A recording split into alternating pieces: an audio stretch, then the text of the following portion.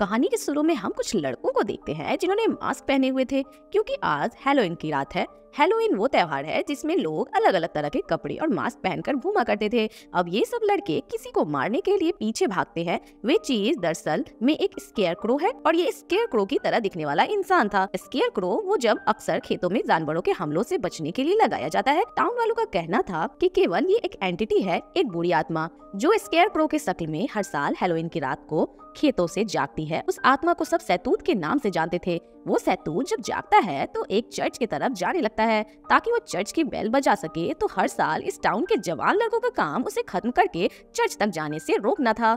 और जो लड़का भी उसे मारता, उसके बदले में उसे इनाम दिया जाता था। तो अब यही सब कुछ चल रहा था। आज रात भी हेलोइन की रात होती है। खेतों में से सैतूत उठकर चर्च की तरफ़ जाता है, मगर बहुत से लड़के जो उसके इंतज़ार में थे, उसका शिकार करने के लिए उसके पीछे भागते हैं। अब एक लड़का उसे पकड़कर मार देता है और उसे खाने लगता है। तो सहतूत के जिस्म से बहुत सी कैंडीज निकल रही थी, जिसे वो लड़का मज़े में खा रहा था। ऐसा क्यों? हमें आगे की कहानी में पता चलेगा। ये लड़का जीत जाता है। अब जो टाउन का मालिक होता है, वो इसे बहुत बड़ा इनाम देता है। जिसमें एक गाड़ी और पूरी दुनिया घूमने के पैसे थे। साथ ही उसकी फैमिली को भी बहुत कुछ दिया जाता है। वो लड़का इतना कुछ जीतने के बाद बहुत खुश था और अपनी नई गाड़ी लेकर दुनिया घूमने निकल जाता है। उस लड़के की फैमिली में उसके मॉम डैड और उसका छोटा भाई था, जिसका नाम रिची होता है। वो भी अपने भाई के साथ घूमने जाना चाहता था, मगर वो रिची को अपने साथ ले जाने से मना कर देता है। अब कहानी आती है एक साल आगे और हेलोइन के पाँच दिन पहले की दिखाई जाती है। रिची, जिसको उसका भाई उस टाउन में छोड़ गया था, वो जब एक दिन थिएटर के बाहर से गुजर रहा था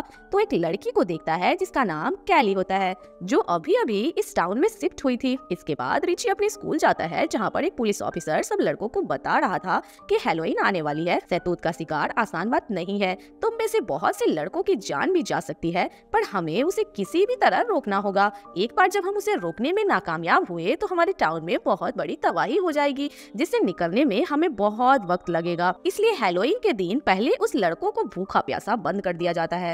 और इन्हें हेलोइन की रात को ही निकाला जाता है ताकि ये खूनखार दरिंदे बनकर उस सहतूत का शिकार कर सके और इस साल भी जो भी जीतेगा, उसे भी लेटेस्ट कार और दुनिया घूमने के लिए पैसे दिए जाएँगे। मगर इस गेम में हर फैमिली से सिर्फ़ एक ही लड़का एक बार हिस्सा ले सकता है। अब यही असूल को रिची तोड़ने वाला था, क्योंकि वो ये साबित करना चाहता था कि वो भी अपने भाई की तरह बहादुर है, जिसे हमने कहानी के शुरू में देखा था। यही स्कूल में एक लड़का है जो बिल्कुल रिची की भाई की कॉपी था। वो रिची से जेलस होता है, इसलिए क्योंकि वो भी उसके बड़ा बनाना चाहता था और खुद को बहादुर साबित करने के दौर में लगा था। जैसा की इस गेम का वसूल था की हर फैमिली से सिर्फ़ एक बार एक ही लड़का हिस्सा ले सकता है तो रिची का भाई हिस्सा ले चुका था, मगर रिची फिर भी ज़बरदस्ती अब हिस्सा लेना चाहता था, इसलिए उस लड़के के साथ लड़ाई हो जाती है, जो नहीं चाहता था कि रिची इस गेम में हिस्सा ले। अब ऑफिसर आता है और दोनों को वहाँ से बाहर निकाल देता है। अब जो सैतूत की कहानी पूरे टाउन में फैली हुई थी, कोई तो इस बात पर यकीन करता था, मगर कई ऐसे लोग भी थे जो इस बात को झूठ ही बता रहे थे। उनका मानना था कि ऐसा कुछ नहीं है। लेकिन जो लोग यकीन करते थे, उनका मानना था कि उन्होंने सैतूत को देखा, जो बहुत खतरनाक है। अब रिची तो स्कूल से बाहर आ जाता है, मगर वो लड़का जो उसके साथ क्लास में लड़ा था, अभी भी उसके पीछे था, इसलिए रिची कैली के पास थिएटर में आ गया था। वो उसे पॉपकॉर्न्स और बॉटल देती है, क्योंकि उसे भी रिची अच्छा लगने लगा था। रिची उसे पूछता है कि आज हेलोइन की रात है तो तुम डांस पर आ रही हो, जिस पर कैली कहती है कि नहीं। क्योंकि मैं ब्लैक हूँ, इसलिए मुझे किसी ने नहीं बुलाया। वो उसे कहता है कि एक बार मुझे जीत जाने दो, मैं सहतूत को मार कर सब कुछ हासिल कर लूँगा और फिर हम दुनिया घूमेंगे, जिसके बाद अब रिची वापस आकर अपने दोस्तों से मिलता है। एक दोस्त उसका बहुत डरपोक था, जबकि दूसरा बहादुर। वो रिची के ज़रिए जीतना चाहता था। ऐसा तब मुमकिन होता जब रिची गेम में हिस्सा लेता, इसलिए वो उसे उकसा रहा होता है। और कहता है कि तुम्हें सबको यह साबित करना होगा कि तुम भी अपने भाई से कम नहीं हो, तुम भी सब कुछ कर सकते हो। इसलिए अब रिची गेम में हिस्सा लेने के लिए पूरी तरह तैयार हो जाता है। इस बारे में अपने मॉम डैड से भी बात करता है, मगर उसके मॉम डैड उसे मना करते हैं। रिची के डैड उसे कई बार समझाते हैं, जबकि रिची नहीं सुनता। तो इस बार उसके डैड ज़ोर से थप्पड़ मारते हैं, मगर अब तो रिची की जिद थी कि वो सहतूत का शिकार ज़रूर करेगा। आखिर रिची के मॉम डैड उसे क्यों मना कर रहे थे? क्या राज था इसके पीछे? तभी रिची को अपने भाई का लेटर आता है। और एक कार्ड भी मिलता है जो अक्सर वो इसके पास भेजा करता था। इसके बाद रिची अपने घर से बाहर आ जाता है, जहाँ पर उसे अपने भाई की दोस्त मिलती है, जो आज भी उसके भाई का इंतज़ार कर रही थी। जो कि अब तक दुनिया घूमकर नहीं आया था। रिची की मॉम चाहती थी कि वो लड़की उसके बेटे को भूल जाए और अपनी ज़िंदगी में आगे बढ़े। इसी बीच हमें एक फार्मर किसान को दिखाया जाता है, जो एक स्केयर क्रो को तैयार करके खेतों में लटका रहा था और यही हेलोइन की रात को ज़िंदा होकर सहतूत बनने वाला था। ऐसा कैसे मुमकिन था? यह सब हमें धीरे धीरे कहानी में आगे पता चलेगा। एक दिन जब रिची स्कूल जा रहा था तो उसे रास्ते में वही लड़का मिलता है, जो स्कूल में अक्सर उसे तंग किया करता था। वो अब भी रिची को रोक कर पूरी तरह से मारता है और उसके पैंट से बेल्ट को उतार लेता है। ये बेल्ट रिची के भाई ने उसे दी थी। अब उसे फिर से उसके भाई का लेटर मिलता है, जिसमें उसने लिखा था कि, रिची, जब तक मैं वापस नहीं आ जाता, तुम्हें ही मॉम डैड का ख्याल रखना होगा। वो इन सब बातों से परेशान हो चुका था। उसे कुछ समझ नहीं आता कि आखिर वो करे तो करे क्या। इसलिए गुस्से में गाड़ी को चुड़ाता है और टाउन छोड़कर जाने लगता है। तभी रास्ते में उसे ऑफिसर ने पकड़ लिया था। जब रिची भागने की कोशिश करता है तो पुलिस ऑफिसर उसे पकड़ लेता है और खूब मारता है, जिस वजह से वो बेहोश हो गया था। अब हेलोइन की रात आने वाली थी, इसलिए सब लड़कों को भूखा प्यासा उनके घरों में बंद कर दिया जाता है। और जब हेलोइन की रात आती है तो उन सबको बाहर निकाला जाता है। सब पागलों की तरह सैतूत का शिकार करने भाग रहे थे, क्योंकि वो बहुत दिन से भूखे थे। उधर किसान ने भी सैतूत के जिस्म में बहुत सी कैंडीज भर दी थी, जिसके बाद वो ज़िंदा भी हो जाता है। इधर रिची जिसको पुलिस की मार के बाद अब होश आया था। उसके डैड उसे कहते हैं कि, देखो बेटा, तुम्हारे पास सब कुछ है। तुम इस मौत में क्यों जाना चाहते हो? उसकी मॉम भी उसके आगे हाथ जोड़ती है। मगर वो किसी की भी बात नहीं सुनता और अपने दोस्तों के साथ एक गाड़ी में बैठकर सैतूत के शिकार पर निकल जाता है। ये सब ड्राउन मास्क पहनते हैं, मगर रास्ते में सैतूत इनकी गाड़ी से टकरा गया था। अब वो एक एक करके सबको मार रहा था। वो रिची के एक दोस्त के कुल्हाड़ी से दो टुकड़े कर देता है। रीची और उसका दूसरा दोस्त अब भी सैतूत के पीछे थे, मगर अचानक उसके दोस्त का आधा सर गायब हो जाता है। उसे भी सहदूत ने मार दिया था। अब बचा था तो सिर्फ़ रिची सहतूत उसके सामने आ जाता है, जिसे देखकर वो डर गया था और भागने लगता है।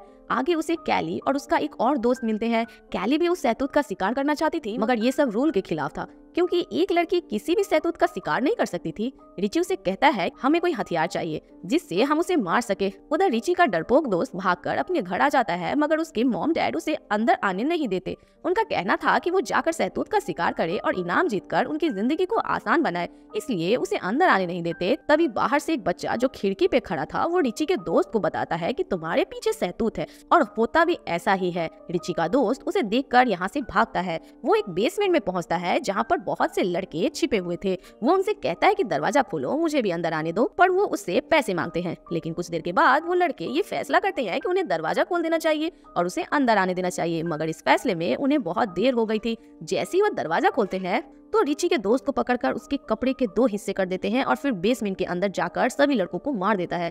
बाहर खून के फुहारे निकल रहे थे, जिसे खिड़की में छोटा बच्चा खड़ा देखकर चीख रहा था। उधर रिची और कैली भी पुलिस ऑफिसर के घर पहुँचते हैं, जहाँ पर वे सब उसकी गन को चुराते हैं और उसकी गाड़ी को भी चलाकर वहाँ से निकल गए थे। टाउन में भी एक अजीब सा माहौल था। भूख से पागल लड़के स्टोर पर हमला करते हैं। उन्होंने गार्ड को भी मार दिया था। माहौल इतना गर्म हो चुका था कि सभी एक दूसरे के खून के प्यासे थे।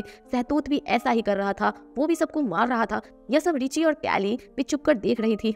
तभी उनके पास वही लड़का जाता है, जो स्कूल में रिची का दुश्मन था। उसे तंग किया करता था। अब यहाँ पर उनके बीच में लड़ाई हो जाती है। कैली उन्हें मार कर बेहोश कर देती है। ये दोबारा से अपनी गाड़ी में जाकर बैठ जाते हैं। तभी इन्हें रेडियो पर मैसेज मिलता है कि सैतूत कहाँ है। अब ये जल्द से उस जगह पर पहुँचते हैं। सैतूत रिची के सामने था। जब उसकी नज़र सैतूत की बेल्ट पर जाती है तो वो एकदम से उस पर गोली चलाने से रुक जाता है। तभी जब सैतूत उन पर हमला करने लगता है तो कैली उसे मार कर बेहोश कर देती है और रिची को वहाँ से ले आती है। ये दोनों गाड़ी में बैठकर रिची के घर पहुँच गए थे, जहाँ जहाँ पर उसकी मॉम नींद की दवा खाकर उसके पास आती है, जो कि टाउन के मालिक ने दी थी।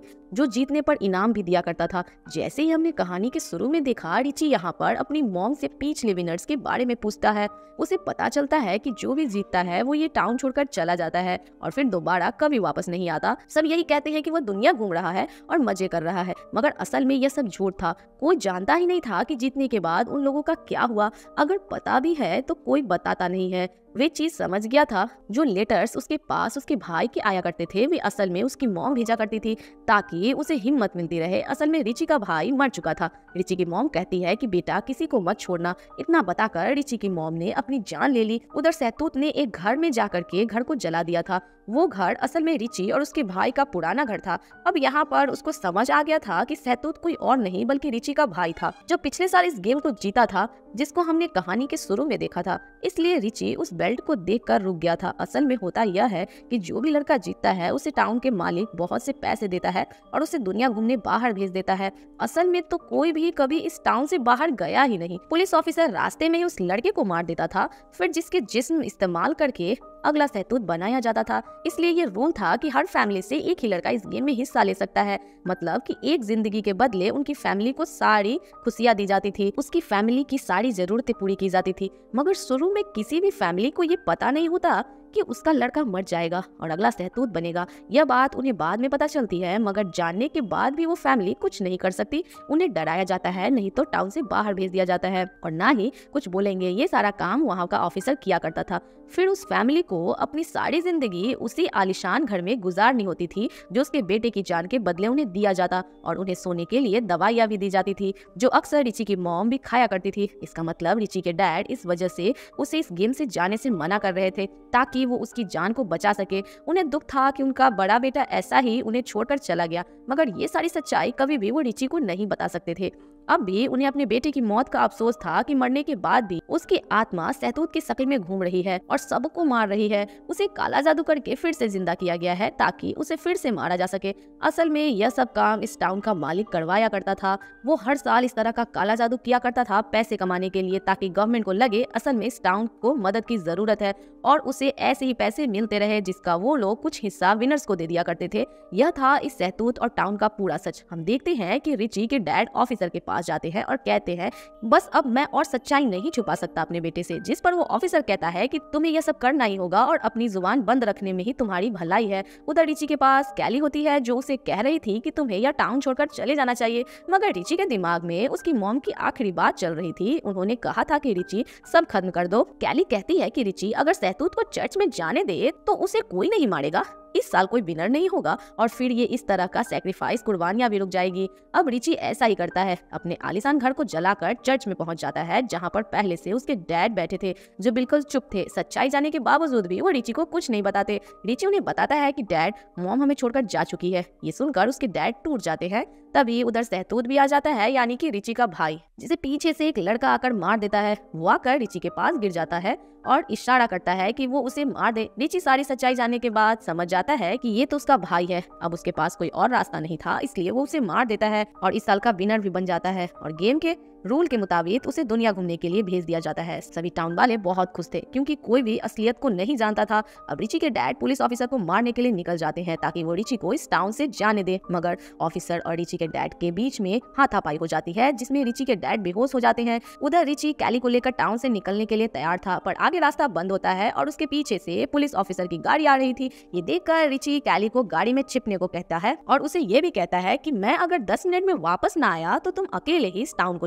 छोड़कर चले जाना। अब ऑफिसर रिची को लेकर वहाँ जाता है। ऑफिसर इस बात को नहीं जानता था कि रिची को सारी सच्चाई पता है, इसलिए वो उसे बातों में लगाकर यहाँ पर ले आया था। मगर रिची अपने गन से उस ऑफिसर को ही मार देता है। उसे मारकर रिची को ये लगता है कि सब कुछ ठीक हो गया, मगर तभी पीछे से किसान ने आकर रिची को मार दिया था। उसी किसान ने जो यहाँ पर सहतूत बनाया करता था और कब्र में दफना देता था, जो उसके लिए ही खोदी गई थी। मतलब इस साल के विनर के लिए जिसके बाद वहाँ पर रिची के डैड पहुँचते हैं, जो अपने बेटे को तो नहीं बचा सके थे, पर कैली इस टाउन को छोड़ने को कहती है। अब कहानी दिखाई जाती है एक साल बाद की, जब किसान रिची के जिस्म को कब्र से निकाल कर उसे सहतूत बना रहा था। फिर तभी उधर उसके डैड आ जाते हैं, जिन्होंने किसान को मार दिया था और अपने बेटे रिची से कहते हैं कि जो अब एक सहतूत बन चुका था कि बेटा, पूरे टाउन को जलाकर खत्म कर दो। ना रहेगा टाउन और ना ही हर साल किसी भी फैमिली को अपने बेटे को सेक्रीफाइस कुर्बानी देनी पड़ेगी। अब रिची को देखते हैं जो सहतूत बनकर ज़ोर से चीखता है मतलब की अब पूरे टाउन को जला आने वाला था और इसी के साथ इस फ़िल्म की कहानी भी यहीं पर खत्म हो जाती है।